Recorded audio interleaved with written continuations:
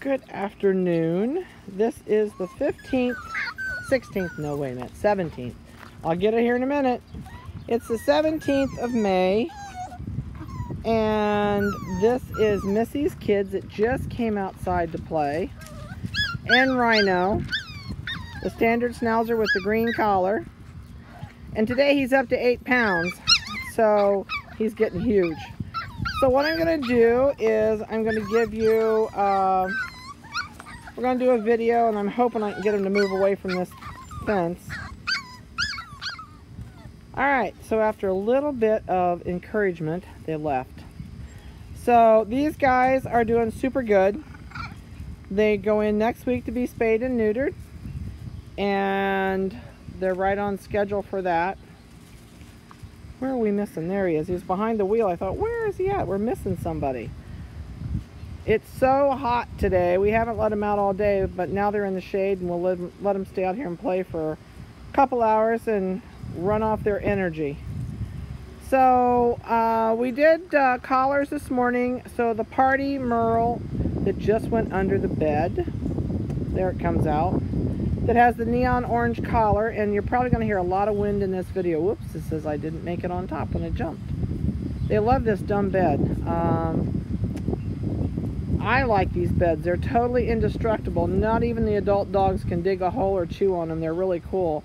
But the pups love them. They jump up and down on top and have a really good time. So the Party Merle is 6271's the microchip number and today he weighs 4 pounds 5.5 ounces.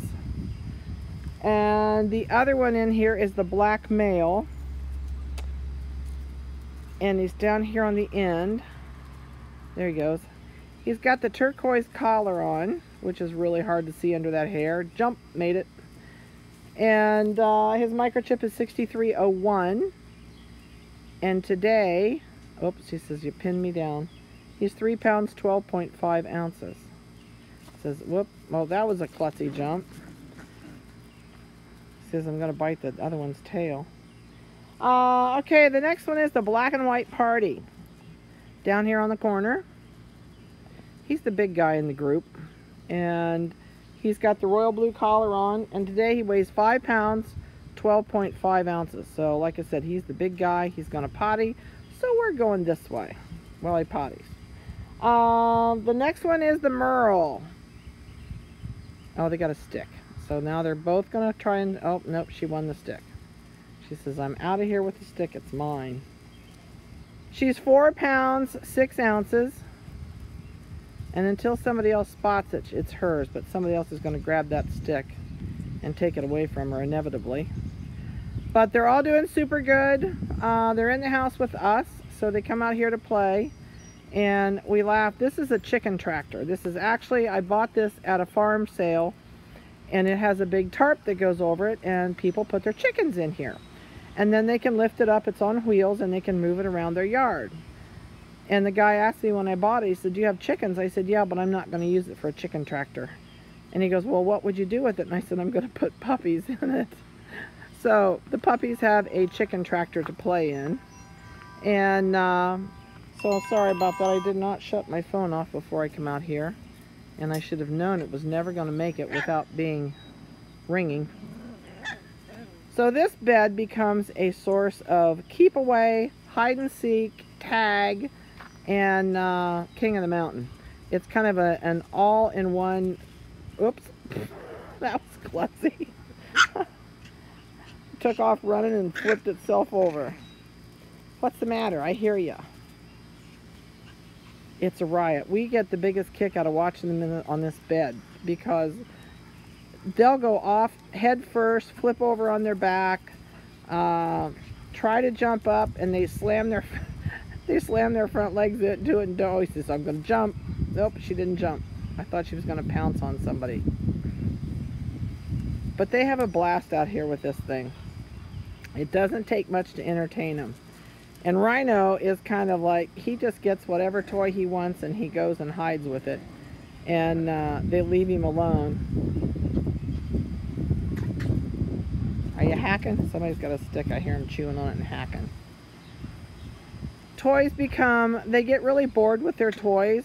So uh, they haven't seen this hanging toy for about two days. And it's really funny. They'll play tug of war. They knock themselves down with it. They have the best time with this thing. You can hang a, a big heavy cotton rope in their cage or tie it on something and they'll play forever and uh, entertain themselves. But they do get bored if you don't change their toys. We've been really surprised. Standard Schnauzers usually are very bullish and uh, pick on the other puppies, but this little standard schnauzer in here that we have lovingly named Rhino, uh, he is just, he doesn't know he's a standard schnauzer. He's so calm and loving, he plays with the puppies. So I love it. I wish we could do that, have done that to all of them when we had them because standard schnauzers are usually just out to scrap with somebody all the time. Um, and this guy's just mellow as all get out. He thinks he's a schnoodle, I guess.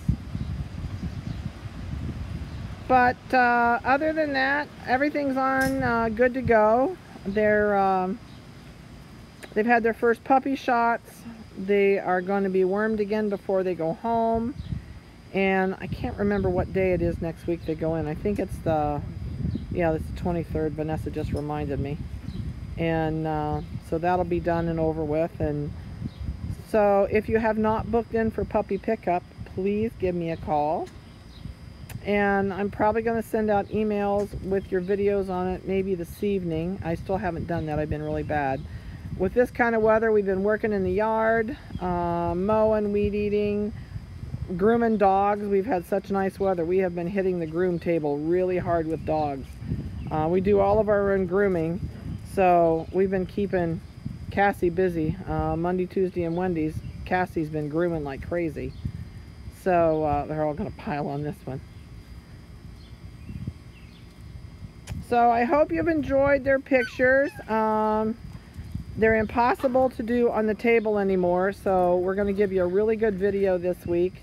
And uh, I have not tried anybody yet on swimming pool with these guys, so I don't know if we have any water buddies or not. We might try it tomorrow and get out a small swimming pool. I haven't done that yet. And see if any of these guys are water crazy. But they like to chew on rocks. They like to eat sticks. So when you get them home and they're grazing in your yard, don't panic. Uh, they're going to chew on sticks. They're going to chew on rocks. They're going to eat leaves. They're going to eat rabbit poop. That's a puppy. Unfortunately, it just goes with a dog. Um, I would highly recommend do not do doggy parks. Do not go have puppy play dates with other people's dogs until you get all four shots under your belt. Um, because these guys are not immune to parvo and really don't even begin to be immune to it until that fourth shot. So please kind of take that into consideration. Um, if you're getting the black puppy, remember the heat. That black coat is like wearing a black suit with a hoodie outside in the summer. You are not going to want to take this to sports occasions and things like that where there's no really dark shade and no cool place because this little guy will cook. But uh, if I can help with any other, whoops, says it didn't, whoops. She says, leave me alone. Or he says, leave me alone. I just made it up here.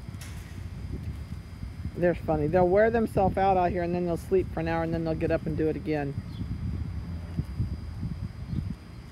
If you can give them something silly even in the yard, something to climb on, um, kids' tyke toys, those little houses that they have the low slides on, those are, oh, he says, here, I'll get that leaf. Let me eat the leaf.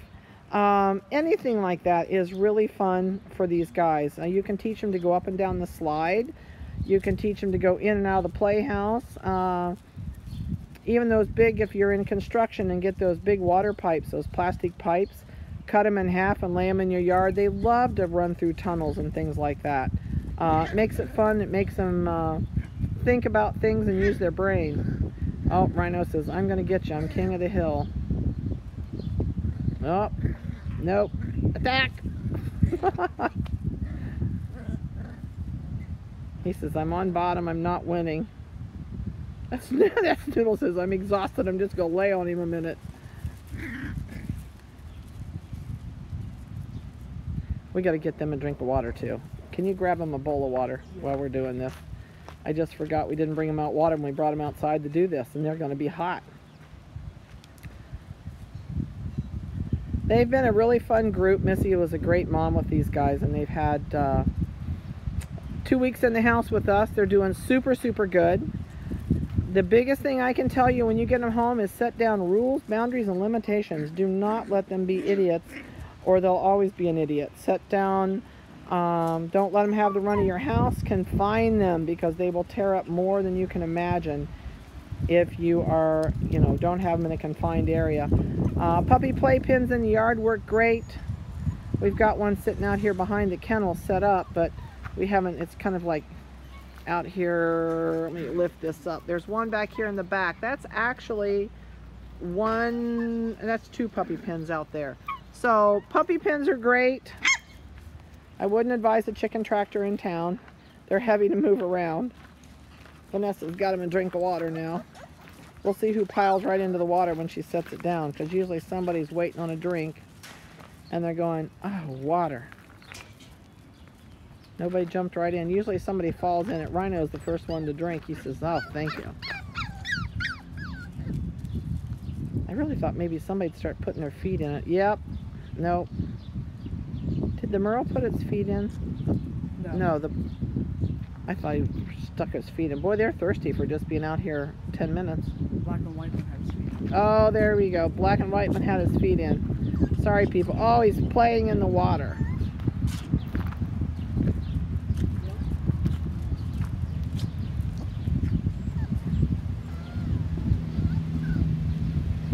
Yeah, the black and white one likes the water. His front feet are soaking wet. He was patting the water with his feet. I'm hoping he'll do it again and we can catch him.